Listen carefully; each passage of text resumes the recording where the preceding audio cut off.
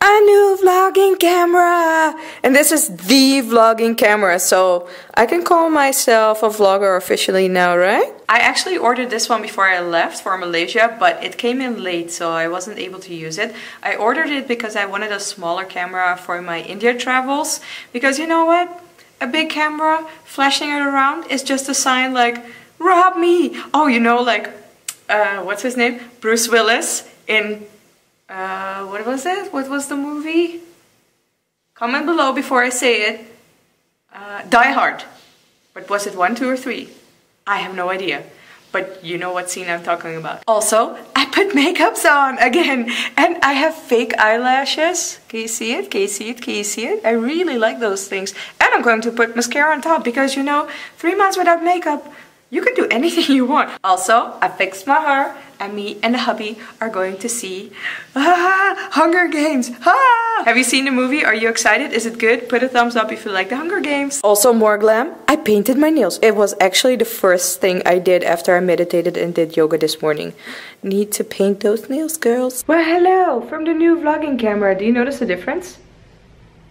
It's so much lighter in my hands. I really like it. I didn't show you this yet, but I bought two huge scarves in Rishikesh. This one was only, I think, 2 euros or something, but it will keep me nice and warm and cozy during the cold winter months in the Netherlands. So this is what I'm wearing for date night. This is an old like statement necklace from H&M. A dress I bought in China. Blazer also from H&M. It has really cool details. I don't know if you can see. Yeah, there you go. And underneath it I have heels and this blanket scarf thing to keep me warm because it's so cold in Amsterdam. I have to be honest, the Dutch gray skies are gorgeous even though it's freaking cold. I'm so excited. So I love the Hunger Games book. The third movie, I have to admit, was quite disappointing but I knew like what the end would be so I kind of understood but still so excited for the end of my popcorn. Look at him hugging the popcorn. He's so cute. Holy schmeckers. Look at those girls' shoes. Look at those girls' shoes. Oh, damn it, bro. She, they were like rolling shoes. It's really cool. Love these stairs, by the way. Haha, there we go, the final part. Review in three, two, one. It was exactly like the book. It was amazing. I loved it, loved it. And J-Law, huge huge girl crush. She's so gorgeous. Yes, you should go watch the movie. It's really good.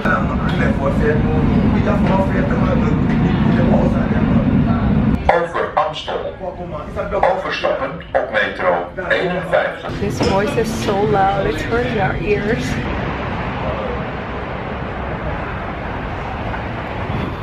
It's so cold!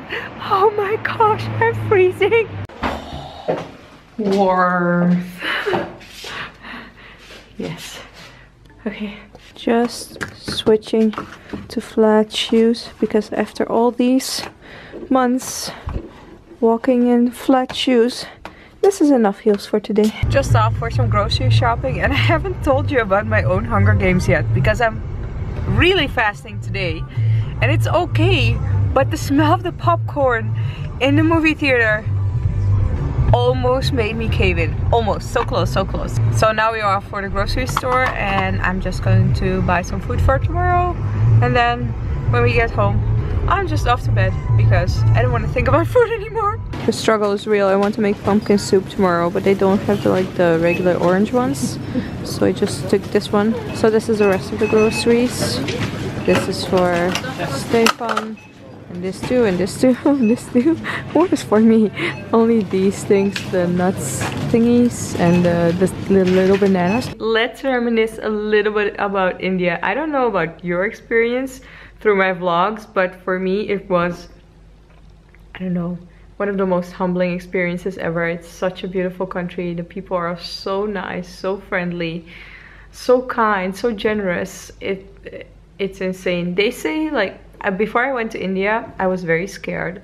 And they say India is a teacher. It will show you like things you never knew about yourself. You will get into situations in India which you cannot experience anywhere else in the world. And it's such a huge lesson how you respond in those situations. We live like in in Disneyland compared to India. It's so clean here. Everything is arranged. Like you go to the train station, you buy a train ticket, you get into the train and it's it's such a luxury. We have so much luxury here and I'm so grateful for everything that I've seen. And of course, I'm not gonna let you hanging about my second fasting experience.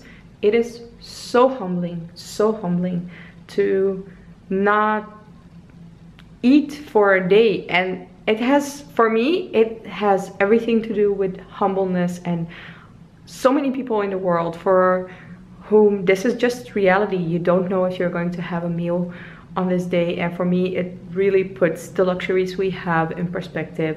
Also it's i don't know it gives you so much peace in your mind. So this is the next day. I'm having delicious delicious coconut oatmeal with this almond and apricot mix. I got it for the first time, it looked delicious. So if you want to go to India, the one and only thing I can say is go, go. It's my favorite country. I love it so much. You can definitely go as a solo female traveler. Just don't, don't do stupid things. Seriously, like use your common sense. Don't go out at night by yourself and well, sometimes you can, but up until I think maybe eight or something. Like as long as there are females on the street, you can go outside by yourself in the big cities. So I have one more announcement before I sign off. The regular Dutch slash Amsterdam vlog schedule will run from tomorrow again. So no vlogs on Monday and Tuesday. And then I'll be vlogging daily from Wednesday until Sunday. So I'm signing off. See you on Wednesday. Thank you so much for traveling with me. Oh, also on Wednesday, we'll discuss about future travel plans. Okay, I love you. Bye-bye. Yay! rather than